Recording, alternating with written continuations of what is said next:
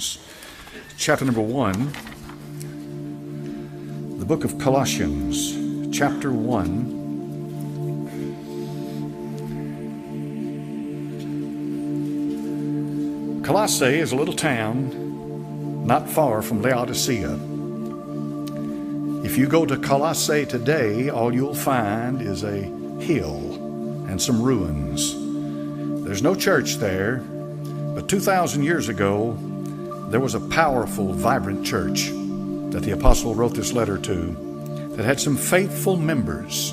But when he wrote the book of Colossians, it stands in as separate from so many of the New Testament books in the sense that there's no other book in the New Testament that exalts the Lord Jesus Christ more than the book of Colossians. It's a powerful book. So the apostle says in Colossians chapter number 1, verse 1 Paul, an apostle of Jesus Christ by the will of God, and Timotheus, our brother, to the saints and faithful brethren in Christ which are at Colossae, grace be unto you and peace from God our Father and the Lord Jesus Christ.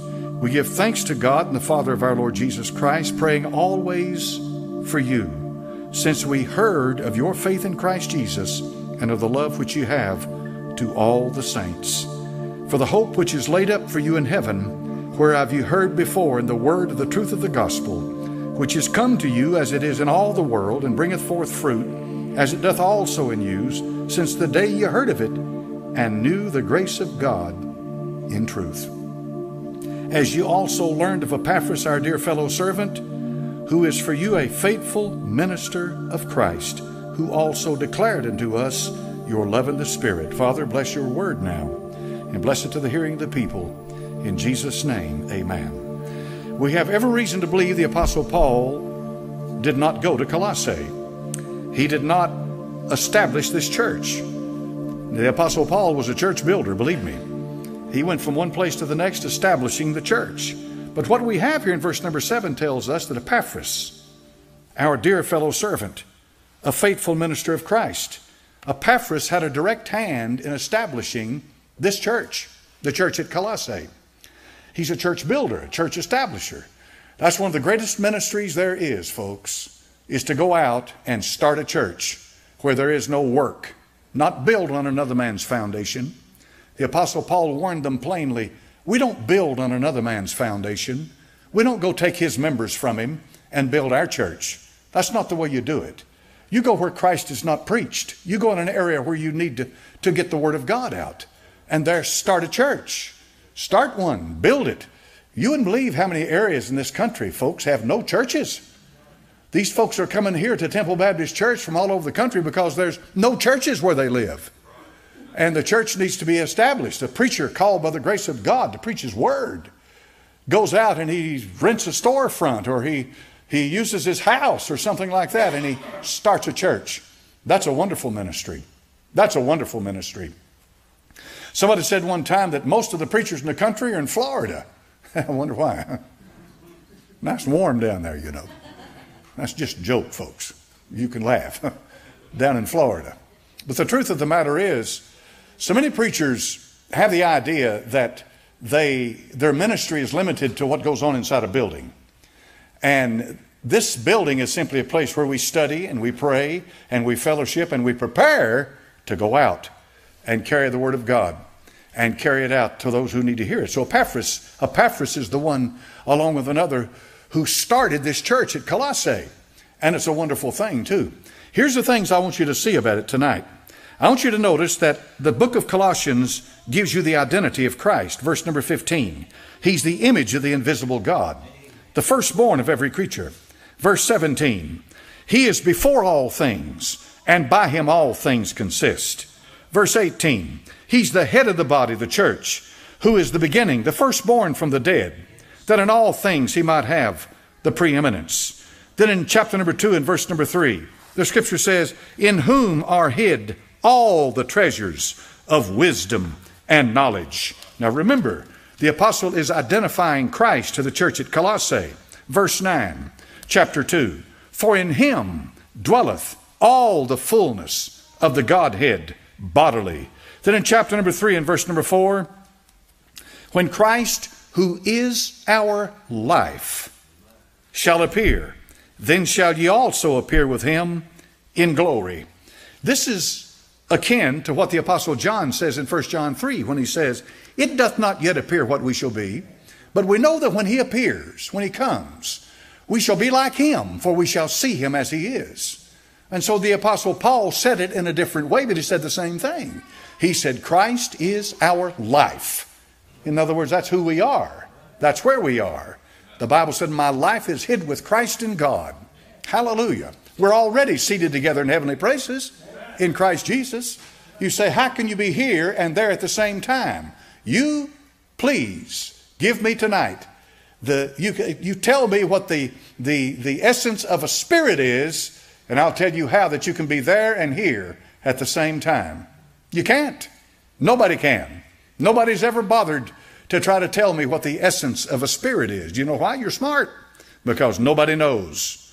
Because to break down the essence of a spirit is to break down the essence of Almighty God. For He is pure spirit being. John chapter number four, the Lord said to the woman of Samaria, God is a spirit. So being born again, I'm seated in heavenly places in Christ Jesus. My fellowship or my, my conversation is in heavenly places, and my life is hid with Christ in God, and Christ is my life. Therefore, there is absolutely nothing on this earth that sustains my life. The only thing that, that is sustained on this earth is the flesh. And from the earth it came, and to the earth it shall return. But the life that is in me is from above, and it's the life of God Himself. Now, that's what the Bible identifies Christ as. And then it tells you what He's done. Colossians chapter number 1 and verse 13 said, Who hath delivered us from the power of darkness and translated us into the kingdom of his dear Son. I wish I could get every drug addict in the country to understand that they don't have to give up hope, that they can be delivered from that horrible addiction to drugs. There is deliverance in the name of Jesus. Now, most of the Baptists kick me out of their churches for saying that, but I'm going to tell you something. There's power in that name and the name of Jesus, you can be delivered. There's nothing, there is no sin, no bondage, nothing that the power of Christ cannot break. So the Bible said He delivered us. Look at verse number 16. The Bible said, For by Him were all things created. He's the Creator. Notice carefully in verse number 17. And then, no, I'm jumped, I'm going back again. Verse 20. Look at verse number 20. Here's what He has done. And having made peace through the blood of his cross. Now I want you to notice what goes on here. We, he has made peace through the blood of his cross by him to reconcile all things to himself. By him I say, whether they be things in earth or things in heaven. So the Bible said that God was in Christ reconciling the world unto himself, not imputing their trespasses unto them, and hath given to us the ministry of reconciliation. God has given forth an olive branch to a guilty sinner and said, I have offered you complete forgiveness and salvation. Just accept it. That's what this is about. And he was in Christ reconciling the elect unto himself. Amen? No, that's not what the Bible says.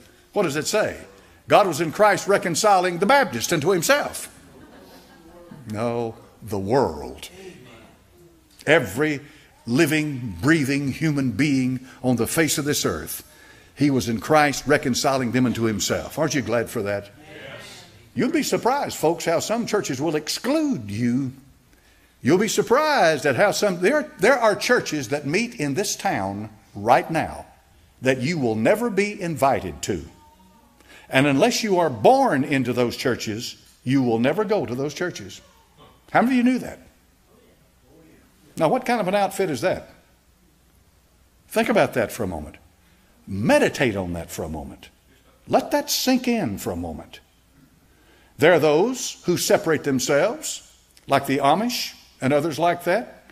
I can respect a lot of things that they do, but have you ever had an Amishman hand you a tract? Have you ever had one try to witness to you to get you saved?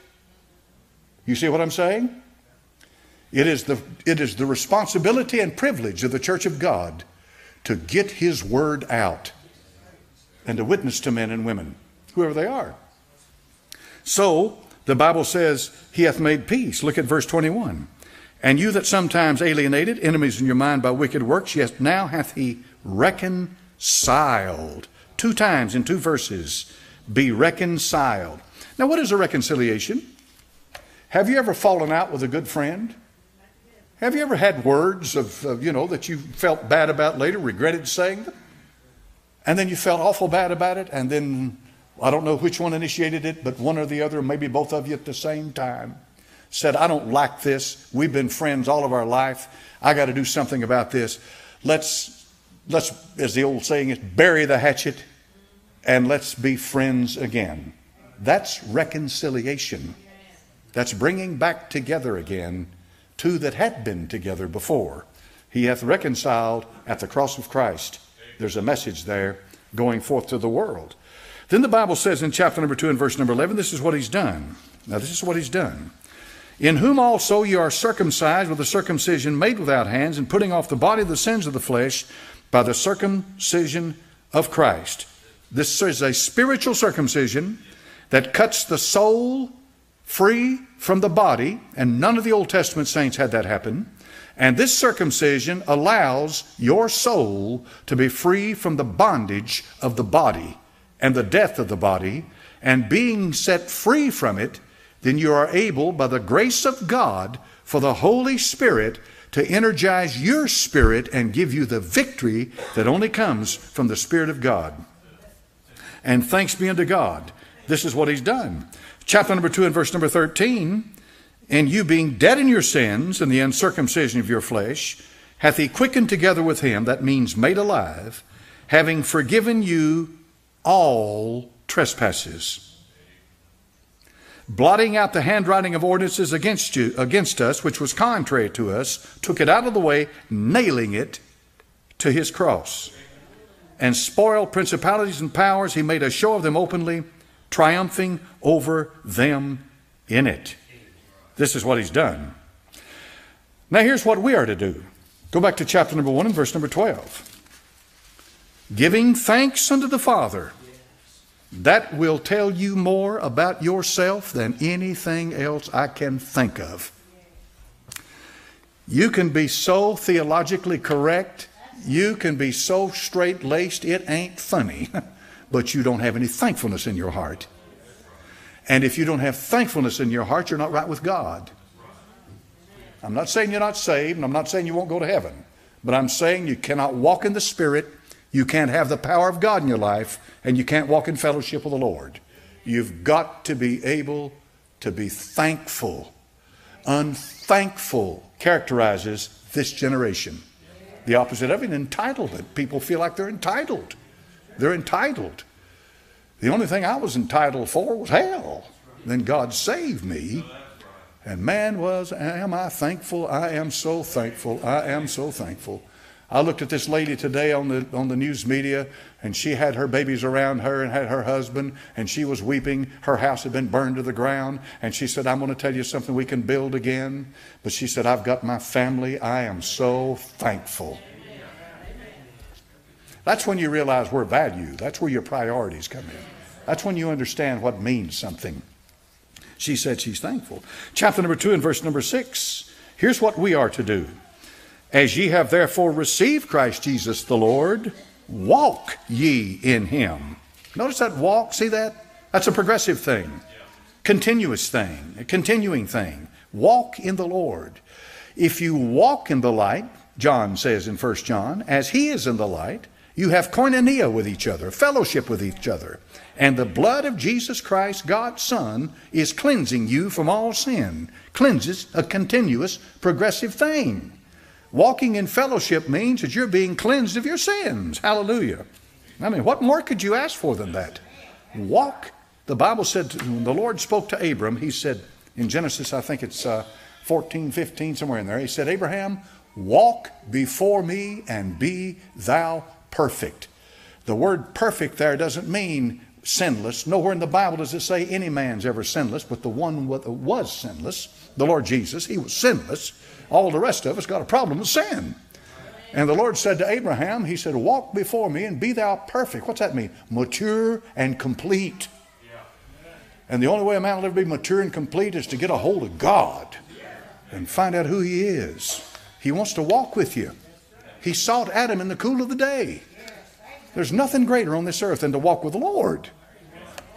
I encourage you. If you're not walking with Him, start walking with Him again. So the apostle told the church at Colossae, walk with Him. Chapter number 3 and verses 1 and 2. This is what we are to do. Now look at this. Colossians 3 1 and 2. If you then be risen with Christ, if you are going to be raised with him, or if you then be, which one have we got here? This is an accomplished thing. See? If ye then be risen, you've already been raised with him, see?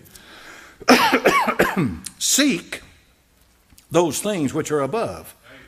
Chapter number 3, verse 2 set your affection on things above. So the apostle says to seek and to set. That's what he wants you to do. Seek that which is above and set your affections on things above, where Christ is seated at the right hand of the Father. In other words, get yourself in a situation where that's what you're thinking about a lot of the time, is what's going on in heaven. That's where we're headed, you know. Don't want it to be too, too, too, too big a shock for you when you cross over to the other side. Surely you won't wake up one day and say, Where am I? Surely you know where you're going. Amen. The apostle said to be absent from the body is to be buried in the ground, right? No, be present with the Lord. Look at chapter number three and verse number five. Look at this word now. Mortify therefore your members which are upon the earth. What's that? That's the body. You see, put it to death. He didn't say put your spirit to death. He didn't say put your soul to death, but he said put your body to death. In other words, the fleshly nature, mortify it. Well, he, why didn't he say clean it up? Why didn't he say purify it? Why didn't he say kind of get it in line? No, no, no, no, no. The only thing you can do with the flesh is do away with it. That's right. Bring it into subjection. I mean, it's a separate study entirely when it comes to flesh. What's that for? There is no good thing in my flesh. That includes my fleshly brain. Amen. I don't know about you, but I got a problem with my fleshly brain. Bothers me. Yeah, it does. Bothers me. You say, when a preacher, I've passed that point. I've been sanctified for 35 years. Oh, good. I'm glad to hear it. I'll get around you a while, maybe rub off on me. I need something. All right. Ch- chapter number three and verse number eight. The Bible says, Now ye also put off all these. Look at verse number nine. Chapter, uh, chapter number eight and verse, chapter number three and verse 12. Put on in chapter number 3, per, verse 9, put off. Chapter number 12, put on. Take something off, put something on. And what follows is the list of all that goes along with putting off, and what follows is what comes with putting on. But here's where the key is to all of this it is the thinking of the mind. Your greatest battle will be fought right here, folks, in the mind. And it is the mind that must be renewed. That's right. What does that imply? It implies the fact that you must constantly guard your mind. You've got to deal with that mind. The mind must be renewed. How do you renew it? Read the Bible, pray, seek the face of God, set your affections on things above, see, not on things on the earth. Think about the Lord, talk to the Lord, uh, listen to good Christian music, singing psalms and hymns and spiritual songs, singing, making melody in your heart to the Lord. Get your mind involved with spiritual, eternal, holy things. And that'll help set you apart. Keep your mind constantly engaged with that. And I know you got to work. I know your hands are involved in, uh, in doing things. You know something? I was reading the other day about how some of the old carpenters and mechanics and, and uh, bricklayers and, and people in the, and, and working in, the, in various jobs, how they make up songs when they'd be hammering a board, they'd be singing a song as they hammered the nails, crossing Jordan or something like that, you know. And they filled their days doing their work, but everything they did, they associated it with the Lord. Yeah, that's amazing. Do you know that? Say, well, you can't do that today. Try it and you'll see. You might be surprised at what you can do. Put off and put on. Now, he gives you two warnings, and I'll close with these. Two strong warnings in the book of Colossians. Very strong and powerful. Chapter number 2 and verse number 8. Colossians 2 8. Beware lest any man spoil you through philosophy. That word mean phileo and sophist means a lover of wisdom. But a philosophy major today is anything but wisdom. because it's the wisdom of this world. So he said, Beware of philosophy, vain deceit, after the tradition of men and the rudiments of the world, not after Christ. So, in plain words, be very careful with the super intellectual elite that appeals to your ego, and because you can understand them and appreciate them, you're smarter than the rest of the people. That's the idea. Beware of that crowd that flatters you about how smart you are. You know, and you understand the depths of the spiritual truths that the crowd and the mob could never get a hold of, but you can understand it. So you, you know, you're, you're, you're so blessed. Beware of that crowd. Do you understand that you can read the Bible through intellectually, but you'll never understand, you'll never understand the spiritual truths of it till the Holy Ghost makes it real to you. For the Bible says, the natural man receiveth not the things of the Spirit of God. Therefore, it's this simple. If you're not born again, you can never receive it. You know, I marvel at these documentaries, and they get this professor from some theological seminary, this woman from Bible college, and they're all liberals. And when they start quoting the Bible, they start talking about these stories in the Bible, it's as if they were talking about something they read in, in, in, some just some secular book or magazine. Because there's no soul in it. There's no heart in it. here's the second warning. This is a powerful warning. Chapter number 2 and verse 18. Let no man beguile you. You remember what the Bible says the serpent did to Eve? He beguiled her. Let no man beguile you of your reward in a voluntary humility and worshiping of angels, intruding into those things which he doesn't understand, puffed up by his, by his, by his, by his earthly mind or his fleshly mind. They say that Colossae had a cult of angel worship located there. That's what they say. International Standard Bible, Encyclopedia ISBE, we call it that they had a cult of angel worship, and they had a specific cult there that worshiped Michael, the archangel. Michael. So the apostle is addressing angel worship here in chapter number two. Remember? Angels, worshiping of angels. Boy, if you ever lived in a generation that worshiped angels, you live in one today. Don't worship the creature, worship the Creator as high as any creature could possibly be, and an archangel is up there, it's still a creature. No doubt in my mind. No doubt. If Michael showed up in here tonight, you would be amazed at the glory coming off of that angel. Michael standing here and Gabriel over here. the natural inclination would be to do what some of the saints in the Bible did fall down and worship them. They're so beautiful. They're majestic, glory coming out of them. They're still creatures. There's just one Lord God God the Father, God the Son, and God the Holy Ghost. Worship Him, folks. Worship Him. And, there's only one that all that knows all, who's omniscient, omnipotent. There's only one. God the Father, God the Son, God the Holy Ghost. And they deserve worship. I'm not worshiping an angel. I'm not going to do it. I'm not going to do it.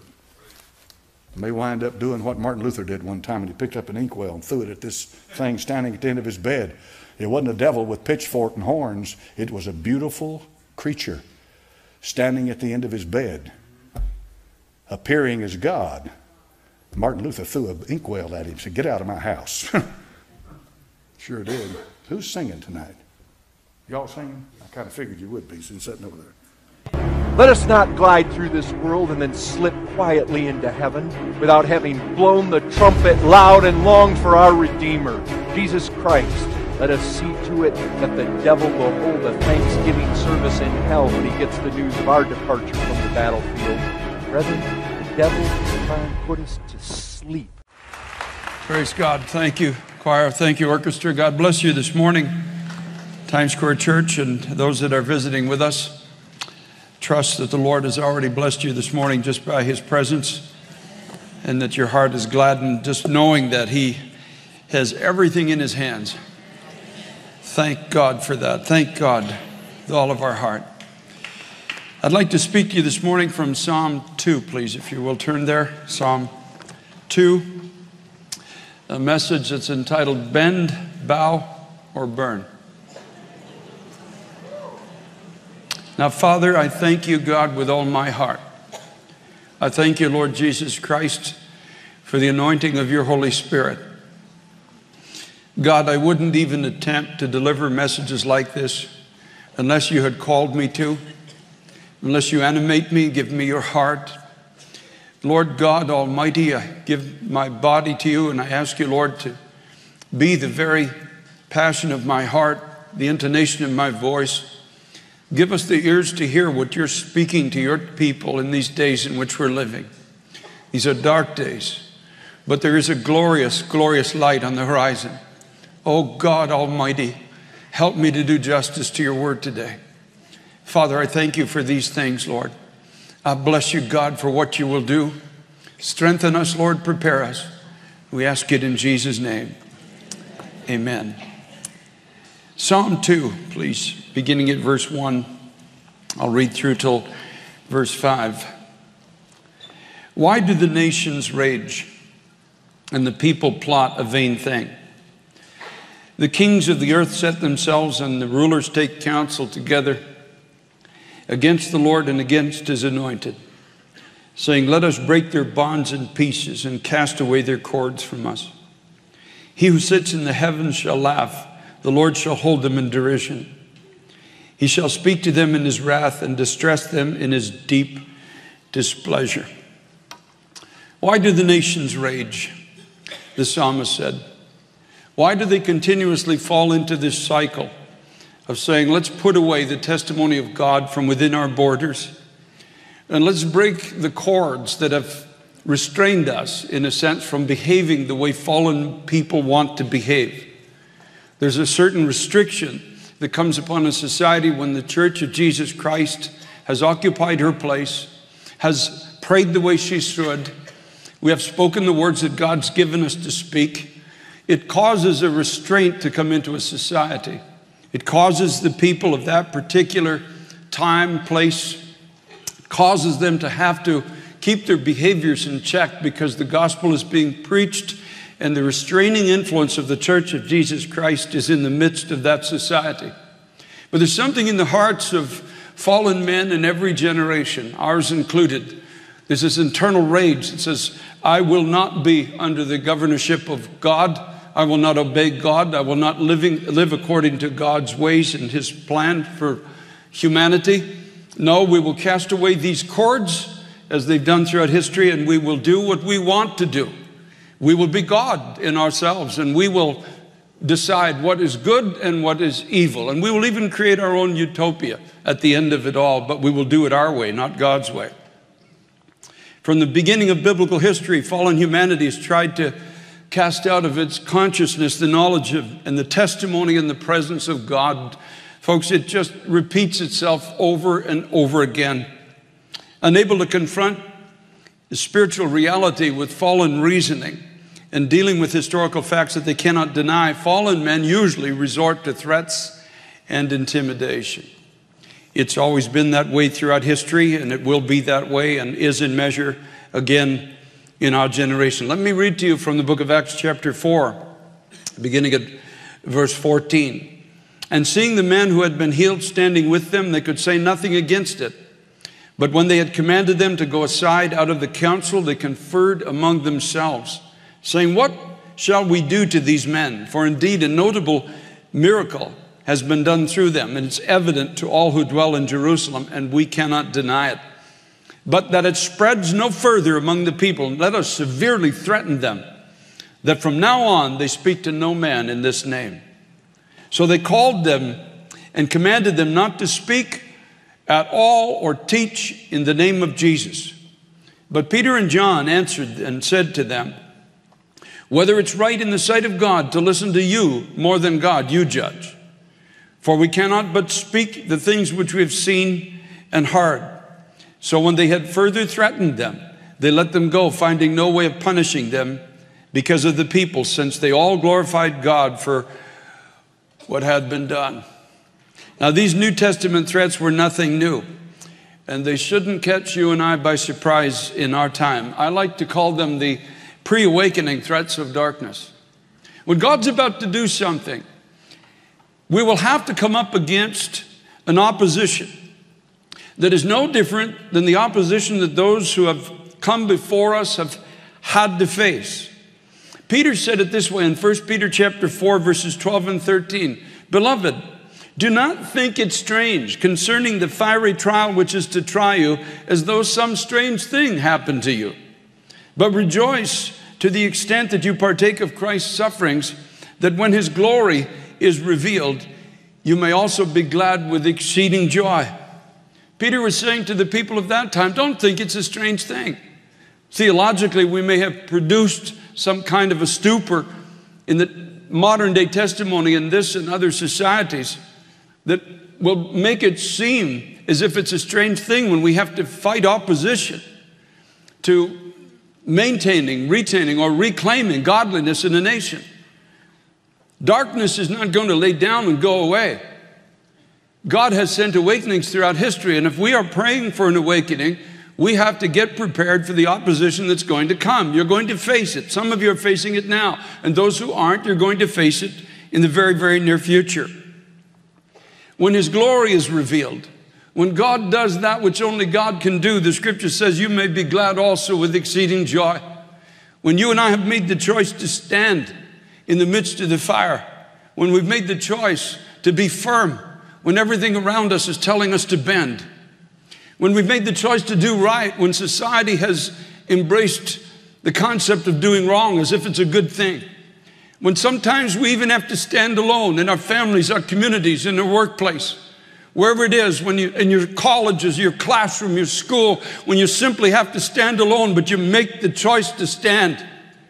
The one thing I know from Scripture is God promises to be with you. God promises to walk with you through the flood and through the fire. God promises to close the mouths of lions. God promises to bring you into a supernatural presence of His Holy Spirit in such a measure that you will know that you're being sustained by the hand of God. You think about it for a moment. Had God's people historically bent under the weight of the threatenings, how many wonderful and divine life changing moments might have been lost. If they had gone home in the book of Acts, chapter 4, and say, Well, the authorities are threatening us, and they're telling us that we can't preach or teach now in the name of the Lord Jesus Christ. So let's all just settle for home fellowships. Let's, let's just keep quiet. Let's keep to ourselves. To think of what would have been lost if that had been their reasonings. But instead of that, it says, they, being let go, they went to their own companions and reported all that the chief priests and elders had said to them. When they heard that, they raised their voice to God with one accord and said, Lord, you are God who made heaven and earth and the sea and all that in them is who by the mouth of your servant David has said, Why did the heathen rage and the people plot vain things? The kings of the earth took their stand, and the rulers were gathered together against the Lord and against his Christ. For truly against your holy servant Jesus, whom you anointed, both Herod and Pontius Pilate with the Gentiles and the people of Israel were gathered together. In other words, the society of that day, secular, sacred, those who had some form of profession of walking with God, and those who didn't, gathered together, unified in this one thing to eradicate the name of Jesus Christ from their society. Verse 28, he says, To do whatever your hand and your purpose determined before to be done. Now, Lord, look on their threats and grant to your servants that with all boldness they may speak your word by stretching out your hand to heal, and that signs and wonders may be done through the name of your holy servant Jesus. In other words, we're not going to bend, we're not going to bow, we're not going to back away. But God, we're asking for more of what got us into trouble in the first place. We're asking for more of your presence. We're asking for more power in the truth that you give us to profess. We ask you, Lord, for more healing than just this one man who was lame standing at the gate of the temple. We ask you to stretch out your hand and begin to heal marvelously in our day and in our society. Oh God, do this for the holy name's sake of Jesus. And the scripture says, and when they prayed, the place where they were assembled together was shaken. And they were all filled with the Holy Spirit. And they spoke the word of God with boldness. That's why on Tuesday night we're meeting now to pray in this church. That's why we gather at 5:30. At 7 o'clock we go online. 139 countries now potentially involved, either live or throughout the week. People submitting prayer requests. Over 2,000 answers to prayer have already come in marvelous, phenomenal answers to prayer. And the cry of my heart is, Oh God, stretch out your hand and heal. Stretch out your hand, oh God, and do more than we could even think or ask for, more than we could anticipate.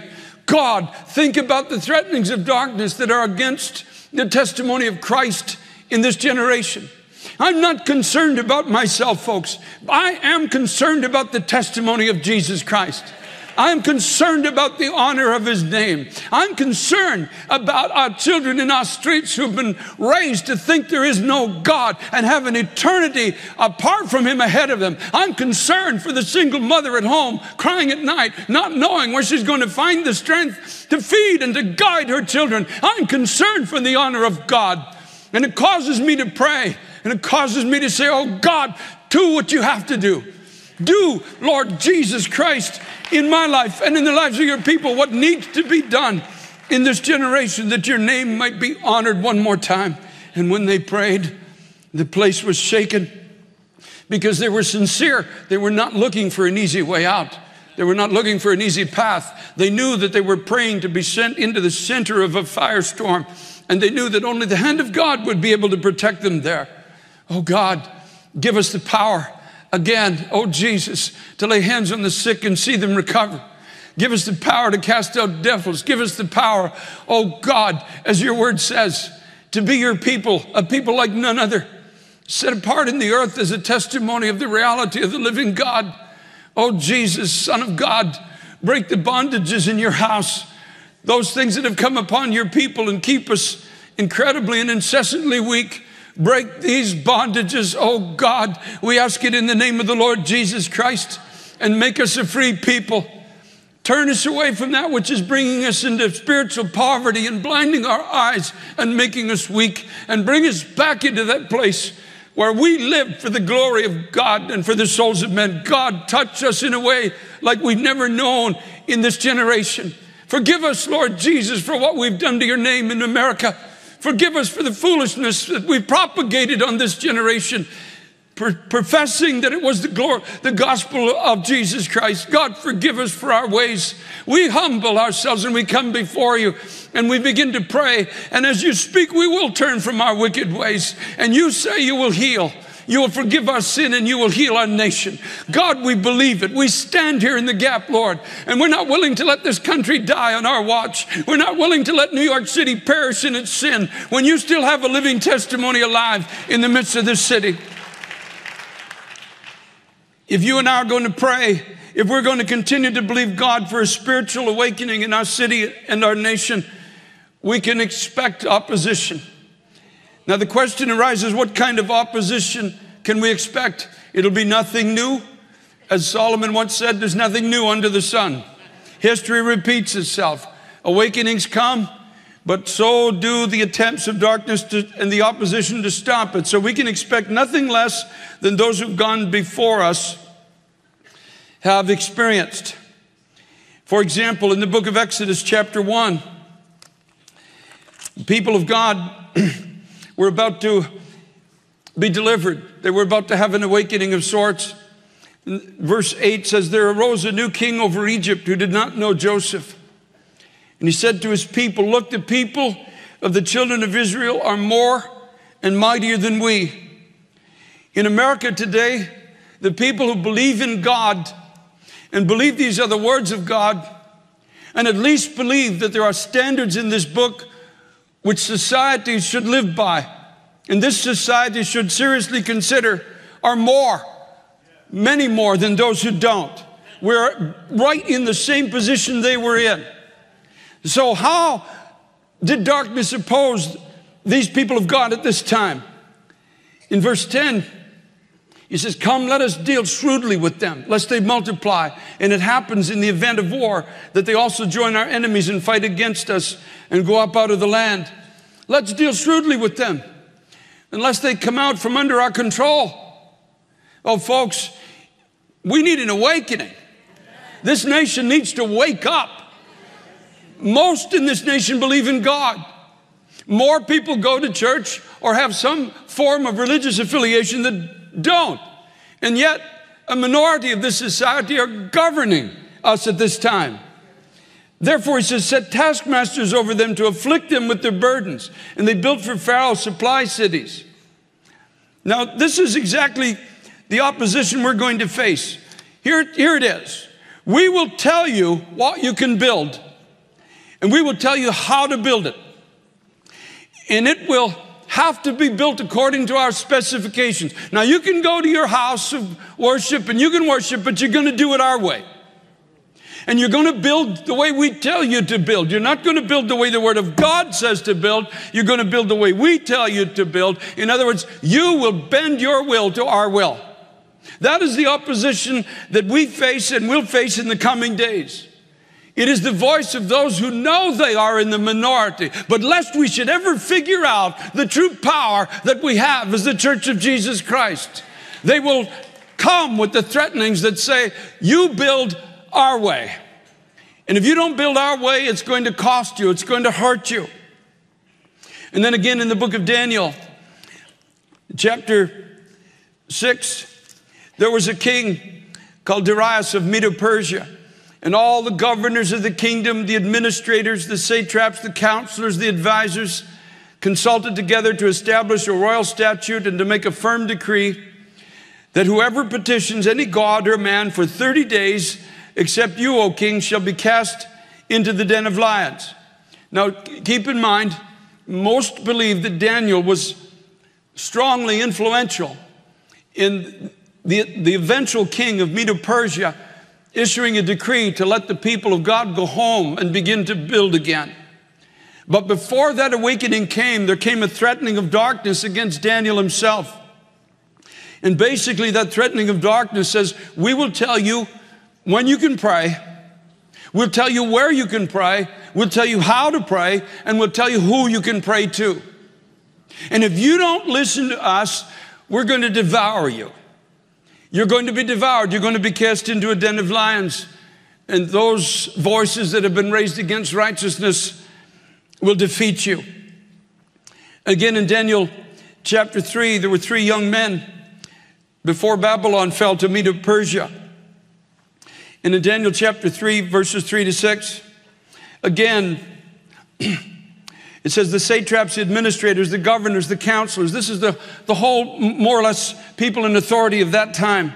The judges, the magistrates, all the officials of the provinces gathered together for the dedication of the image that King Nebuchadnezzar had set up. And they stood before the image that Nebuchadnezzar had set up. Then a herald cried aloud, To you it is commanded, O peoples, nations, and languages that at the time you hear the sound of the horn, the flute, the harp, the lyre, the psaltery in symphony with all kinds of music, you shall fall down and worship the golden image that King Nebuchadnezzar has set up. In other words, you are going to become one with us and you are going to embrace our new social direction or you are going to burn. We have an image of humankind. We've set that image up, and now we are commanding everyone everywhere to bend and bow. And when you hear the music, you better bow, because if you don't bow, you're going to burn. historically on our part for spiritual freedom to remain, for laws to remain and become just, for the hearts of kings and rulers to be turned back again to truth, for Christ to be glorified again in our day, it will require a people who bend only to the will of God and not to the will of man. That's what it will require. I don't care what kind of a statue the godless of this generation erect and try to get the society to bow down to. God's people must not bow down to it. Oh, the arrogance of humanity to say we can take wrong and make it right. We can redefine the family. We can redefine marriage. We can decide when life should be born and when it should die. Oh, the arrogance of humanity. And they put up their golden statue of themselves and strike up the band and say, Now it's commanded to all people of all nations. Now you bend your knee and you worship the way we do, and you worship what we do, and you worship in the way we worship it. There comes a time in history when men and women of God hold up this book again and say, No, sir, no, sir, no, sir, you cannot take evil and call it good. You cannot change the laws of God. You cannot rage against a holy God and say, Let us cast off their bands from us, let us cast away their cords. He who sits in the heavens shall laugh. And he shall speak to you in his displeasure, and he will have you in utter confusion, for that is what awaits those who turn from the ways of God. People who are willing to turn wholeheartedly towards God's truth and prepare to take a spiritual journey. In the days of the Exodus, the Word of God came to the people. The Word of God looked like it didn't have the upper hand, but somehow in the hearts of God's people, truth found a lodging place. And they gathered together around the table in their homes in fellowship, and they began to eat of the Lamb. They began to partake of the strength that God was willing to provide them. Of course, the whole thing was a type of the cross and of you and I as the church of Jesus Christ today. And they prepared to take a journey into an unfamiliar place. I'm telling you, prepare to take a journey now into an unfamiliar place. The comfort as we've known it is going to be gone. Difficult days are ahead of us as the people of God. But if you will partake of what Jesus Christ bought for you on that cross on Calvary. You gather together as a body in the sweetest fellowship that is known on this side of heaven. You watch what God will begin to do. The songs of joy that will come into your heart. He told the people, partake of the lamb. Bring in your friends and family together and put shoes on your feet and gird up your loins and get your staff in your hand. We're about to take a journey. It's a journey into a place where natural comforts are gone where physical comforts are not visible. It's a place where we live by the promises of the Word of God. It's a place of restoration. It's a place of comfort. It's a place where there are no signposts but the presence of God Himself. Oh God, thank you for this, Lord, with all of our hearts, for what you're about to do in this generation. Laws will change, freedom remains, hearts are turned, Christ is glorified by people who choose to pray no matter what the laws of man may say. We choose to pray. It is our right to pray. It is still, as far as I know, in the Constitution of this country that we can pray. There's nothing forbidding us to pray except a vocal minority that's trying to tell us when and where we can pray and when and where we can't pray. But I can pray anywhere I want to pray.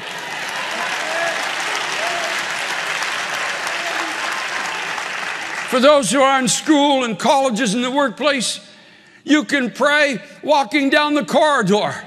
You can pray shopping for groceries. You can pray on the subway. You can pray sitting at your desk in the work. You can pray anytime you want to pray. You can talk to God whenever you want.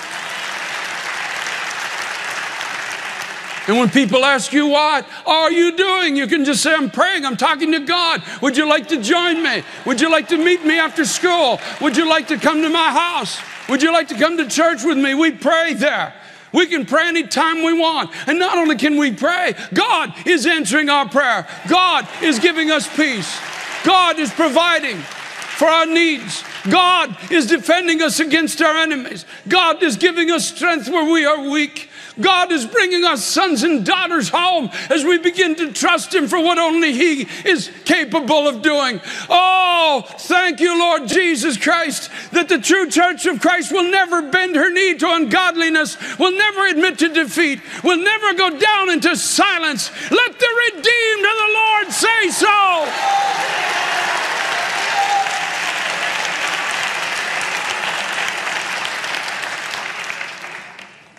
Spiritual freedom will come, laws will change.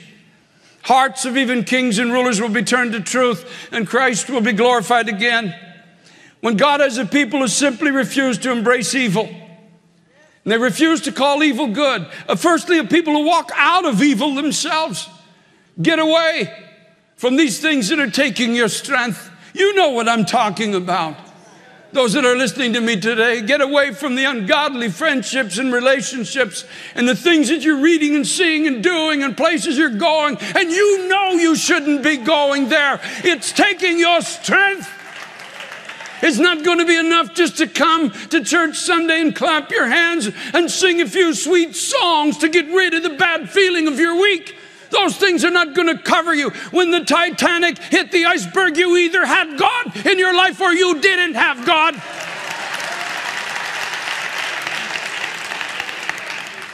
No, a people who refuse to embrace evil and call it good. We will never embrace evil in this church. No matter who is trying to call it good, we will never embrace evil.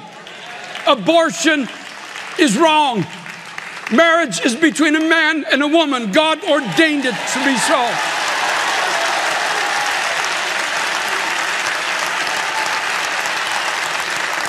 It is wrong for politicians to lie. It's wrong for them to get up and lie and expect that there's no repercussions from it.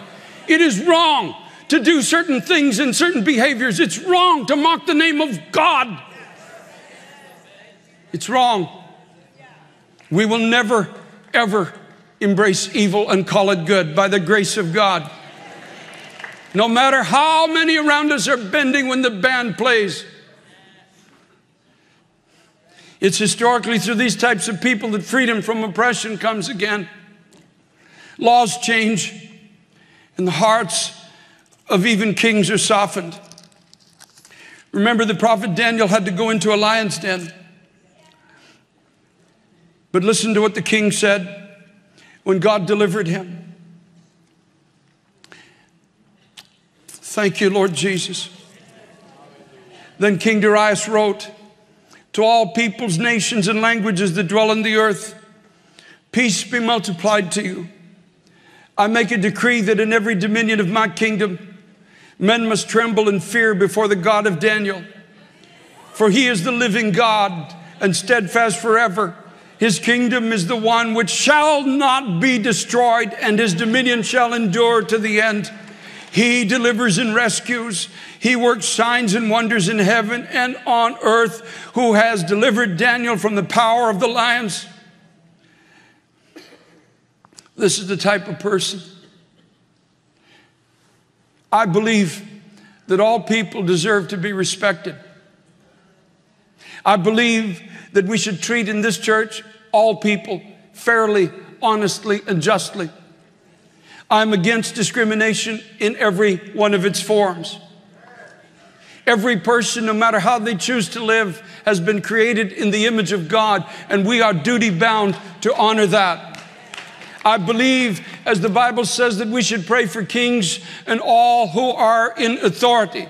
I believe that we must be careful of our speech and we need to pray for our leaders that God would touch their hearts, that they can govern us righteously according to the Word of God. I believe that as much as is physically possible, we should be model citizens in the nations, communities, towns that we find ourselves in. I believe that men should stand up and be men of God. I believe that we should be fearless in the face of opposition. I believe this with all of my heart. But I also believe that the Word of God is the standard of righteousness and living in truth. It has come out of the mouth of God Himself, and I believe it cannot be transgressed without consequence. I also believe that though the nations rage, they are plotting an empty thing. Though the kings of the earth set themselves together and rulers take counsel against the Lord and against those that are called by his name, though they formulate their plans in secret, saying, Let us break their bonds in pieces and cast away the cords that they're putting on us and causing us to have to restrain our behaviors. I believe that the one who sits in heavens will laugh and have them in confusion. I believe it with all my heart.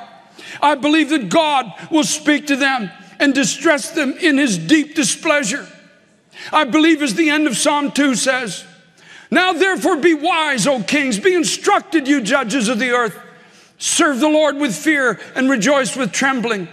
Kiss the Son, that means embrace the Son of God, lest he be angry and you perish in the way when his wrath is kindled but a little. But I also believe the last line of Psalm 2 that says, Blessed are all those who put their trust in him. Oh God, thank you for peace in the midst of the storm. Thank you for being the fourth person in the midst of the fire. Thank you for being the one who shuts the mouths of the lions. Thank you for being the one who gives us the courage, God Almighty, to prepare to take a journey that will bring honor and glory to your name in the earth. God, thank you for these moments in which we're living. Thank you that we are born at such a time as this. Hallelujah to the Lamb of God. Thank you, Lord Jesus Christ.